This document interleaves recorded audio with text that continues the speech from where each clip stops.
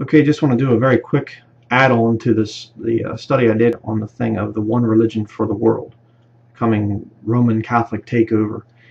Uh, something the Lord kind of revealed to me this morning. I was talking, you know, this morning with my wife, and we were just discussing different things, ministry related, pretty much all we discussed really.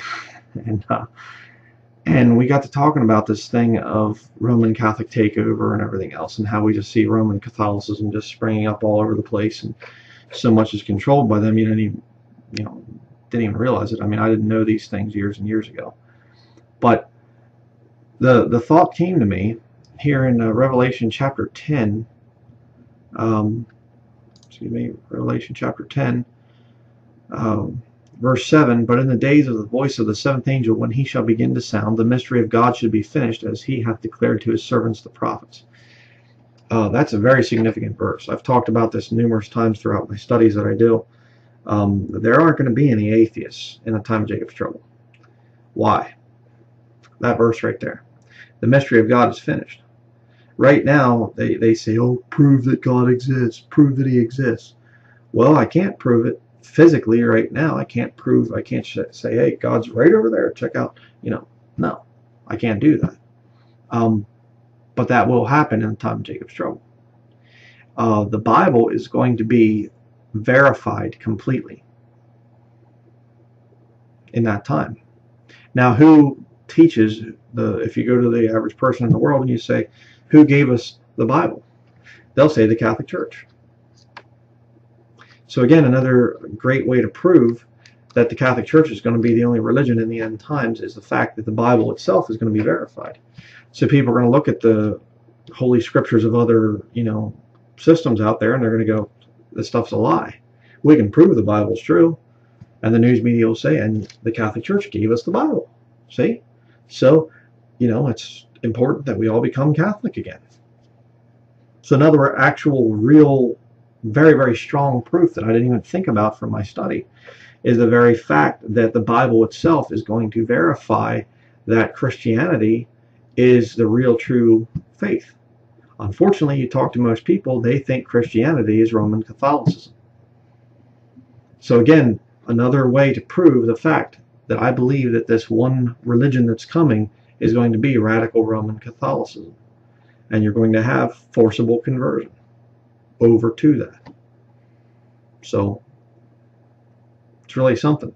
And you know, I don't know if I really made a real good point of this in my study, but you know, really our legacy that we need to leave behind as, as Bible believing Christians is that we are very much against Roman Catholicism. Uh, I, I don't hate Roman Catholic people at all. I need to make that point very clear. I'd love to see Roman Catholics get saved. I think it's it's great. Uh, they're some of the favorite my favorite people to see saved. Um, but I'm very, very vehemently against Roman Catholicism as the system. And I want to leave a legacy behind when the rapture happens. I want people to see my videos and my ministry and understand that I plainly, flat out say Roman Catholicism is not Christianity from the Bible. They've stolen the term Christian and applied it to their pagan system.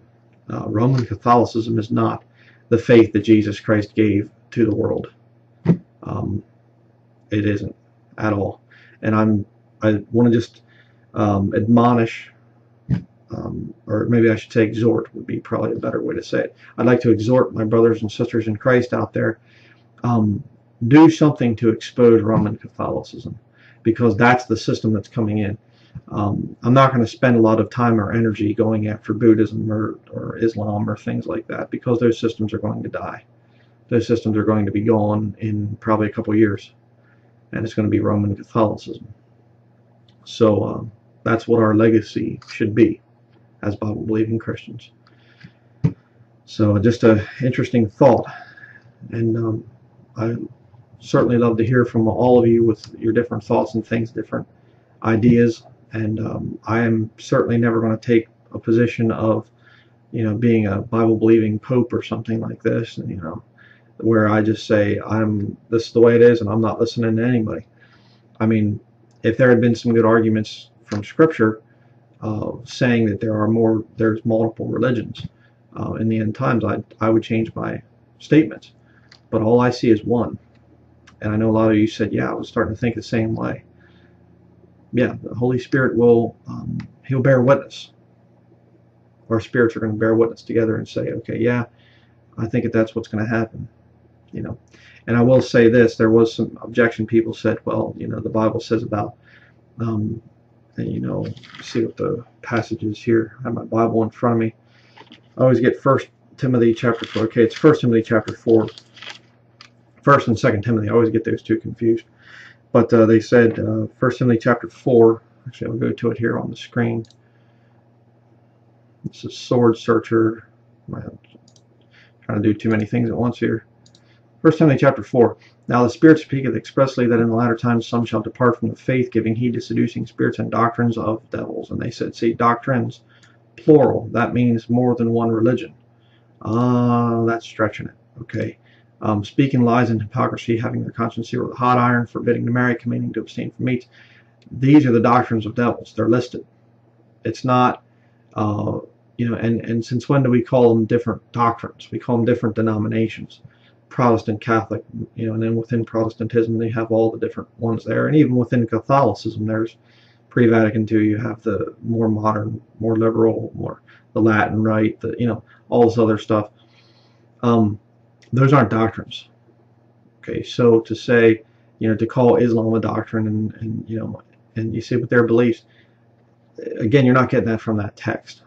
Okay, so I have to respectfully disagree with that um, that scripture doesn't overthrow the other ones that we looked at, where there's one man showing up and um, the whole world's worshiping the beast, and the woman rides the beast.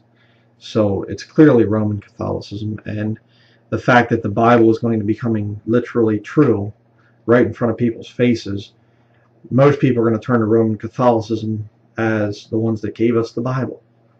So just another way to prove that theory is in fact correct. Um, so let's focus our energies on getting truth out about the Roman Catholic system. And um, I guess that's it for now. Thank you for watching.